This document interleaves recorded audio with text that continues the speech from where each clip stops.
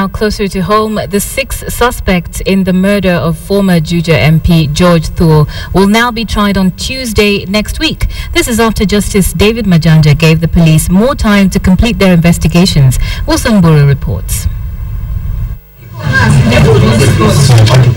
The six suspects appeared before Justice David Majanja in relation to the death of former Juja Member of Parliament George Thuo, but were not required to take a plea since the investigations are still on.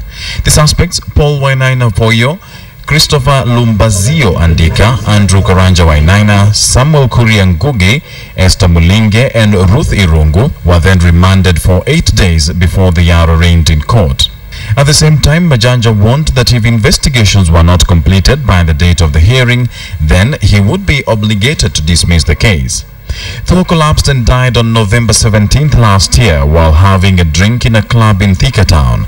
According to the club's proprietor, Paul Wainaina, who was a close friend, Thuo started complaining that he was feeling extremely hot after having a couple of drinks. He collapsed 15 minutes later and was rushed to Thika Nursing Home before he was transferred to the Aga Khan Hospital in Nairobi where he was pronounced dead on arrival.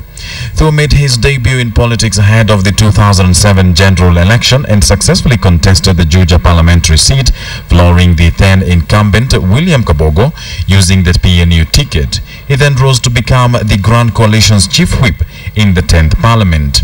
His tenure was short-lived, however, after Kabogo filed a petition challenging his election and got back the seat in the consequent by-election. Before plunging into politics, he was managing the City Hoppa fleet of buses, a company which he had founded. Toxicology reports on Thuo's body indicate that he may have been poisoned after pathologists found traces of pesticide in Thuo's liver and heart during the post-mortem examination. Wills Mburu, KTN.